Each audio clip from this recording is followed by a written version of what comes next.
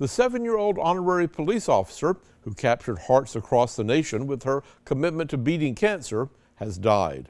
Abigail Arias was diagnosed in 2017 with a rare form of pediatric cancer, but that didn't stop her from following her dreams and becoming an honorary police officer in her hometown of Freeport, Texas.